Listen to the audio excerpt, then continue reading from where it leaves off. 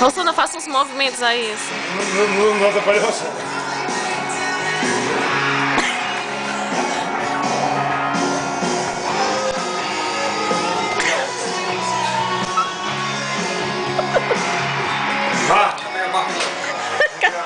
Bart tem medo dele.